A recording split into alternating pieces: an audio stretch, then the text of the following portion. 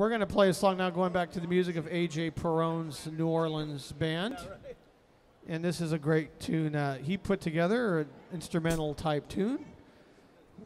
Has little bits of ragtime in it. It's a tune called Bouncing Around.